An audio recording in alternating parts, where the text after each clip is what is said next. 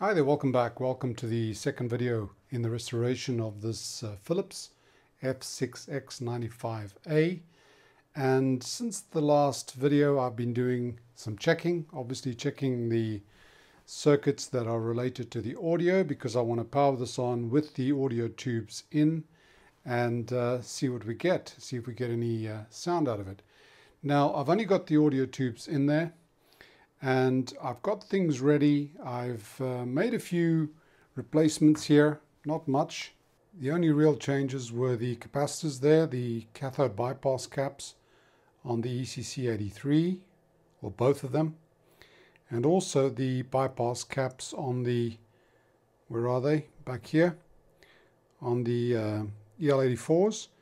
Now, someone mentioned that uh, some of the smaller resistors were iffy and I did some checking. I was getting within the tolerance that they claimed, but I got a bit uh, enthusiastic about getting more precise, so I changed some resistors and then I realized that it really wasn't necessary. But I did change a few on here. They weren't completely off, but they were sort of 10% off. These are 20% resistors, so they were still within their spec, but I changed them anyway. But other than that, that was it. So here we have the schematic, and as you can see, I've checked the power supply down here, and this is all the power amp audio section, really. And uh, what we've got here is the two output stages, which are identical, with an EL84 tube, and then we've got the preamp stages. Now this is a pretty straightforward output stage. I'm going to look at one. It'll be very similar to the other. And if we go here, we've got our output there. There's a snubber, well, there's a resistor across the output in case you disconnect your your speaker. You still end up with a small, with a load. It's a very big load. This probably also has to do with uh, damping of the output. I'm not so sure. We have a feedback going from the output. So this has got negative feedback to this section here, which is the uh, input of the tube itself. So negative feedback through there. It's a pretty big resistor, 680 kilo ohms. If you wanted to give it more negative feedback, you'd reduce that. That would reduce distortion, but also reduce your, uh, your power output, your level. Now on the primary, what we have is we've got the uh, main power coming in. This is B+. plus. They call it plus 4. I normally call it plus 1, but it goes in here. It goes in there into the uh, output transformer through the output transformer to the anode of the tube, so it acts as a load for the tube.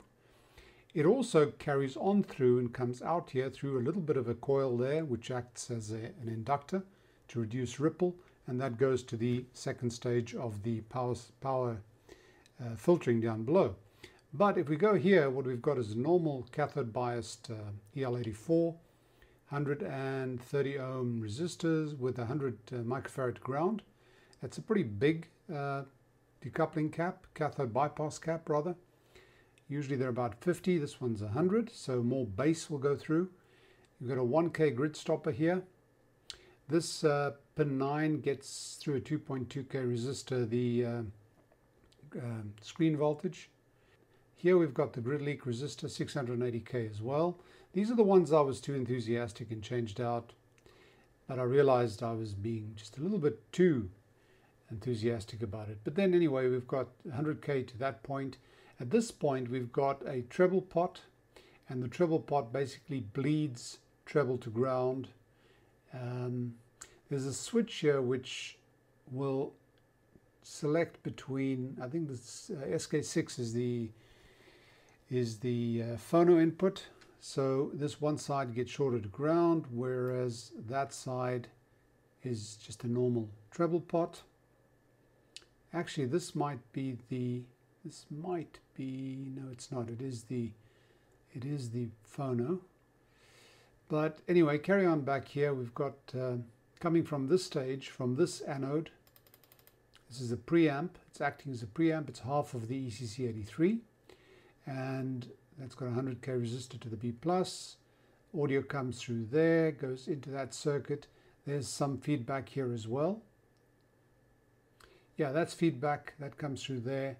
It feeds back to this section and it feeds back to here.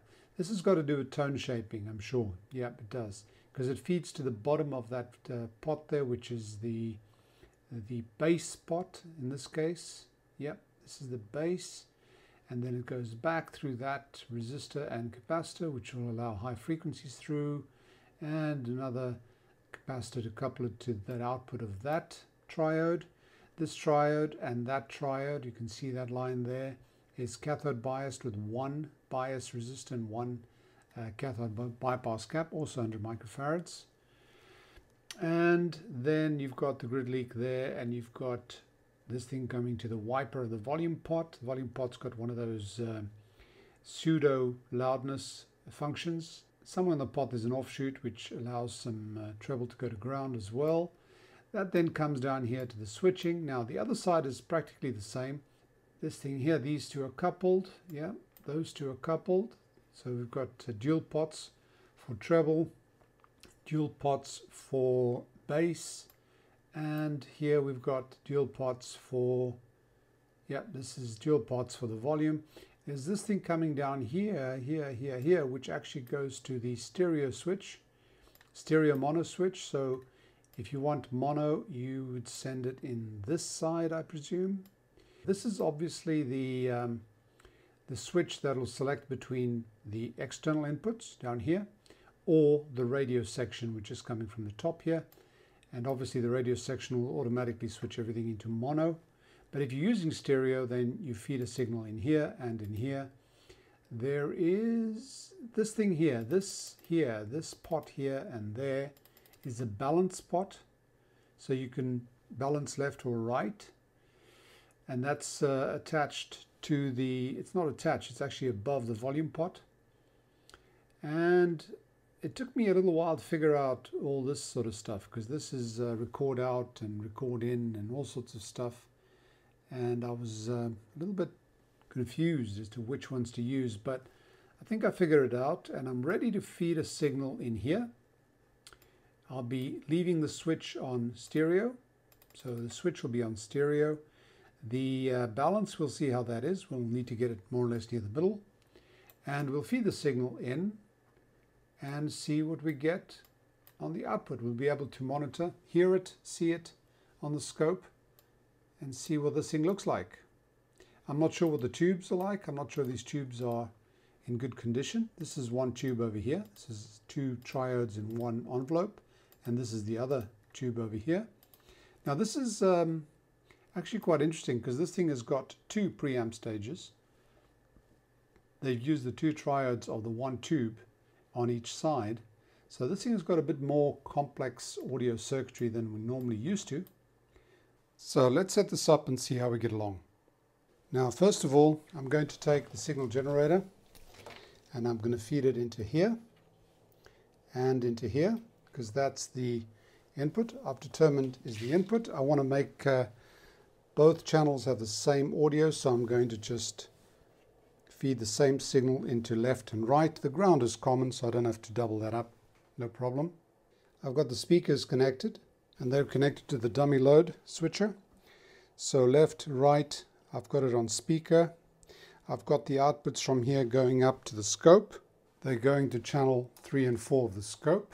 It's actually quite useful having a scope with four channels because I can leave these two permanently ready for this connection. This is obviously a one-to-one, -one, so the uh, scope um, probe is set to 1 to 1 instead of 10 to 1. These two can be left to 10 to 1. So it makes it very easy.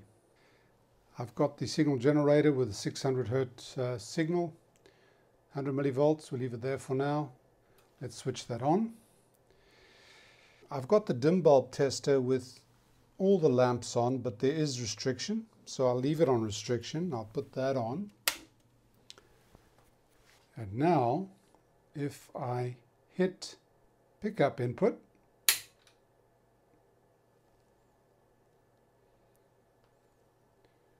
it's come on. I didn't even notice whether the dim bulb flashed or not, but it is on. I've got the switch on stereo. Okay, let me put the volume up and see what we get. Well, I can hear it. and I can see it. Actually, I'd rather not hear it. Let me put that on dummy. Well, yeah. Okay. Let's try the, this is the um, balance control. It's not exactly the same, is it?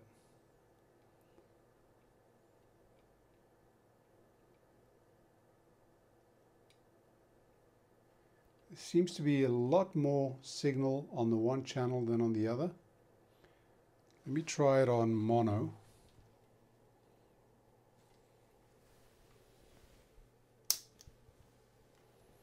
It's now a mono signal. My balance doesn't work anymore, but what I do find is that I've got a bigger signal on one than on the other. But it's a clean signal. Very clean signal. Let me um, increase the amplitude here to 200 millivolts. Aha, it's starting to clip somewhat.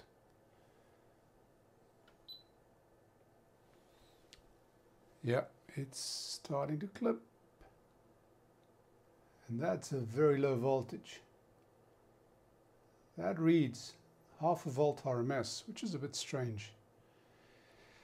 We'll have to see how this thing sounds. That would be uh, with quite a bit of distortion on there already. See that top of the waveform's all crumbled. I go down there.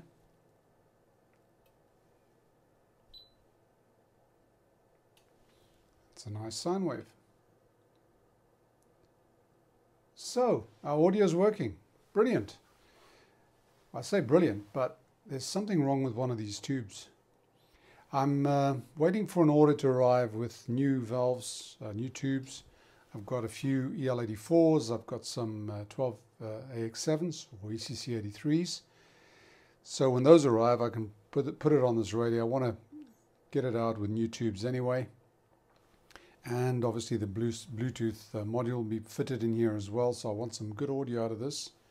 And I'll be able to check this discrepancy then. But yeah, this thing is working. This thing's working. And there wasn't, maybe, maybe some of these uh, resistor tolerances actually help that or affect that. But what I do notice is that this thing, uh, when it's in mono, has no effect. Balance control has no effect, obviously. But when it's in stereo, you can see that the two don't go to the same extremes. When you move it to the left and move it to the right, the top ends are slightly different. Okay, well that's fantastic. That's great. I'm happy. So far. So far. Actually, I just had a thought. I'm going to put in the other tubes and I'm going to see if this thing receives anything. Why not? I, I haven't found much wrong with, uh, with resistors or capacitors that I'm too worried about. So I want to see if this thing receives. Let me flip it around, get it ready, put the mini whip in here. The antenna is over there. So I'll put the mini whip in there, leave the speakers connected, put the other tubes in, and see how we go. Let me set it up. All right, mini whips in at the back. This has only got AM bands, so medium wave, shortwave one, two, three, four. I'm not even sure which way around they are. It doesn't matter. Put the volume up. Let's put medium wave.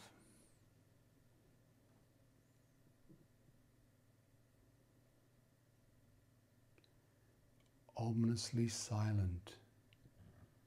That does not sound good. Don't hear a peep. Damn. Oh, I do. Okay, that's one of the short waves. I don't know which one.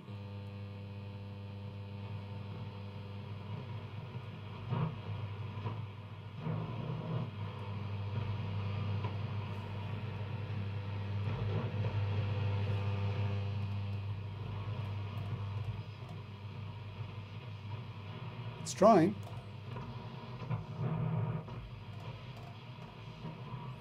Probably the bottom end of the band, just after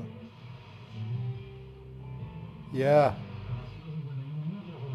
This is the one just after the um, broadcast band, shortwave. The next one. Hmm, quiet. Oh no. Ah. And the band spread is working. It's that um, knob over there. What is that? What the heck is that?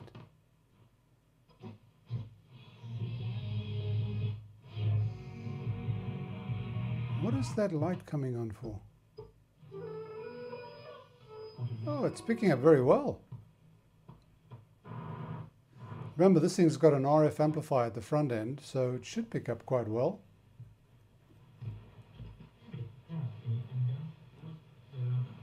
And the band spread is brilliant. Whoa! That is amazing for uh, shortwave.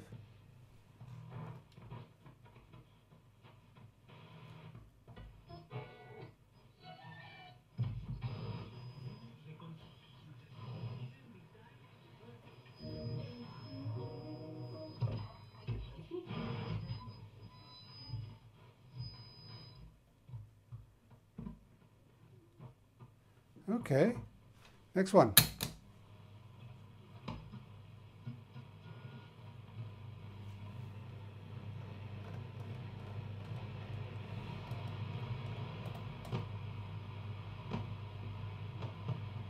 Obviously nothing here at this time of day. I don't know what that is.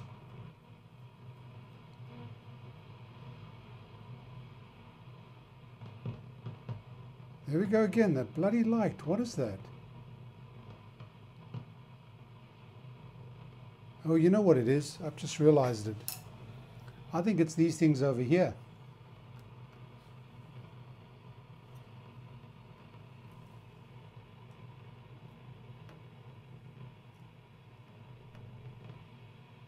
Yeah, it's that thing over there.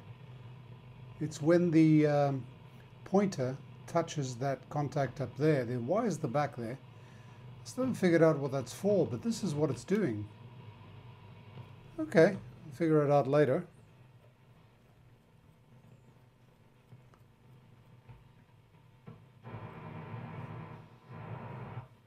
Again, broadband uh, band spread works there as well. Oh, there we go.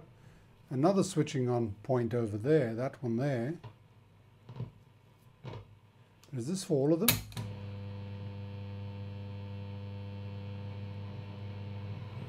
No, it doesn't do it for all the bands.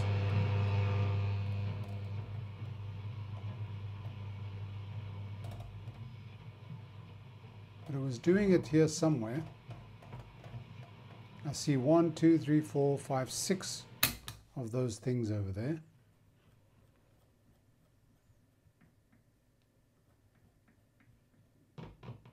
There we go. That's doing it on that one.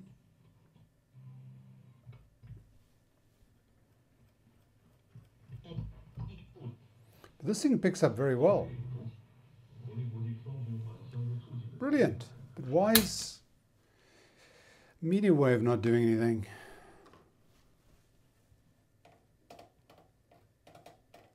Completely. Oh, I just remembered. I've just remembered that thing there. Okay.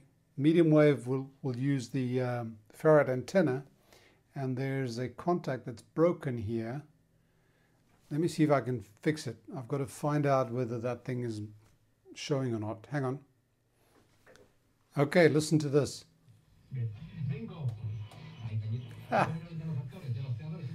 I'm using this uh, crocodile clip lead just to connect the uh, one end of that coil to that uh, connector that's come loose and we've got medium wave.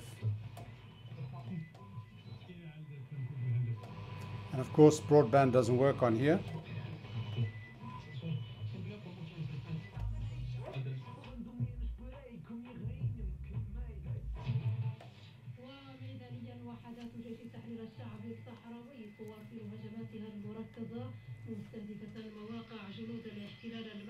Certainly works.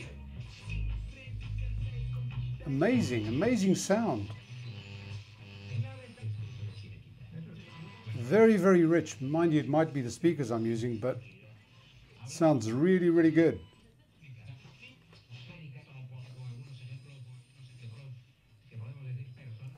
Well, that was a very, very nice surprise. That means that all my tubes uh, on the radio section are working well. And there doesn't seem to be anything dramatically wrong with it, except this thing that I have to connect here permanently. I'll stick that there with some glue and uh, solder that end of that coil. And what am I going to do next? I need to figure out what these things are for. They obviously switch on that light and I've seen something on the schematic which might be it, but I'm not sure what it's for. Uh, at certain points in the dial, when the dial pointer touches that, this is probably, the dial point is probably ground and then that thing makes a connection to ground and switches on the light.